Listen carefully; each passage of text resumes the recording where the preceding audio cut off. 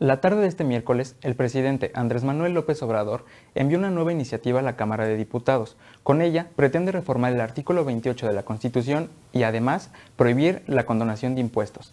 No obstante, habría que preguntarle qué pasa con los impuestos que les perdonó en Tabasco en cuanto al pago de la deuda histórica a CFE.